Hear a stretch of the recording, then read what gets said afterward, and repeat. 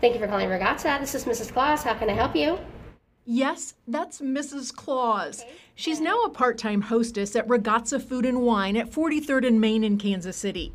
Normally, this time of year, she's busy baking cookies with children at Winterfest. That event was canceled due to COVID, so she's found another way to help children and support a local business at the same time. You know, my husband gets a lot of the attention, but when people see Mrs. Claus, they get pretty excited. So it's nice to have a situation where when things are tough and it's kind of hard to find that holiday spirit, uh, it's great to be able to be somebody who can help people find that. This weekend, Mrs. Claus is collecting toys to be donated to Operation Breakthrough. She's hoping Ragazza customers will bring a toy, whether it's dine in, carry out, or curbside, she's ready. I'll bring you a heaping helping of holiday spirit.